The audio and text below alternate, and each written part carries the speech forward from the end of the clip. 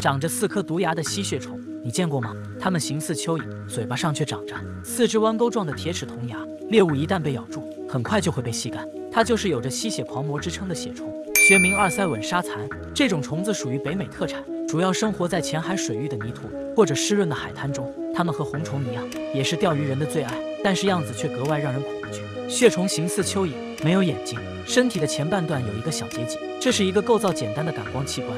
通过这个器官，它们能够很清楚地知道周围是否有危险。猎物具体在哪个方位？当它们感知到猎物唾手可得时，就会迅速喷出来一种名为长鼻的东西。这是血虫身上的一种肌肉结构，它能分泌一种粘液困住猎物。其实，在大自然中，这种魔幻的捕食方式，比如天鹅绒虫会悄无声息一路追踪猎物，等对方进入攻击范围，就会喷射粘网。这些高粘度的液体，几秒钟就会变硬。而作为猎物的蚂蚱，深陷囹圄。